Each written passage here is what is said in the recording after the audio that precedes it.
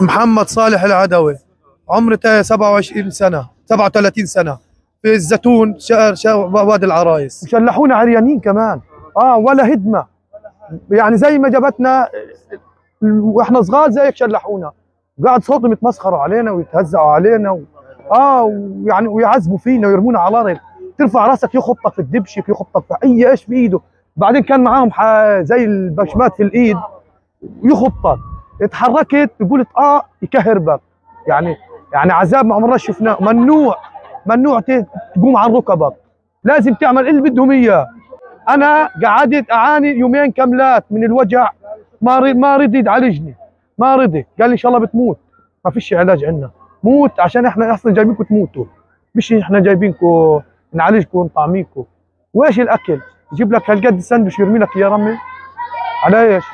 إحنا اسرى يعني مش يعني لا لنا بحماس ولا في لنا في أي حاجة. بني آدمين أخذنا من دارنا تعذبنا ليش؟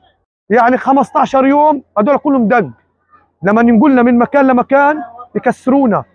تكسير يكسرونا في البصات ما فيش رحمة. تقول آي يزيدك. ثلاث أيام يمكن ايديك ورا ظهرك ورجليك مربطين.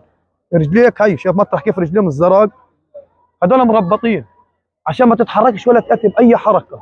اسمي إبراهيم صبحي سعد ياسين. عمري 27 سنة. سكان الزيتون.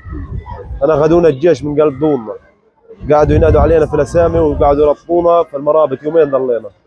وشلحونا عريانين زي ما جابتك أمك شلحونا وغميونا واخذونا قاعد على النقب وقعدوا يطبوا فينا بوكسات.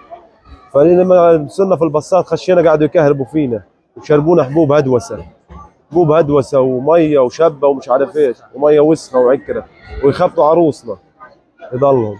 وفيش من قصة الأكل يدوك سندوتشين بس. ونهارك عليهم تضلك تاكل عليهم. وإن تكلمت قعدت يعني تتكلم مع أخوك وياخذوك على السياج وبيشبحوا فيك ويطبوا فيك قتل. وهي كل ما السؤال إيش يخبطك. يجي يعني واحد على التحقيق هنا وواحد جنبك كل ما تقول إيش يجي يخبطك كف على ساحلك في البسطار على وجهك على ظهرك يخبص يفضحك يقعد يخبص عليك لما تحكي. لما تخش على التحقيق بربط إيديك ورجليك وفي كرسي إيش؟ في معلق في الهذا محطوط براغي أنت ما تقدرش تتحرك. وبيجي بيقول لك على التحقيق بقعد يحقق معاك. مين هذا فلان ومين هذا فلان؟ زي هيك. آلية الكهرباء إيش كانت؟ آلية الكهرباء لما يجي يرحلنا. في الباصات يجي يلدعنا يجي يمسكونا خمسة يكتفونا ويقعدوا في الكهرباء في هذا في الباص. يقعد يلدع فينا من هان ومن هان ومن هان. ويقعد بوكسات وفي الدبشك الكلاشين في الباص. آه صعبة كثير على الآخر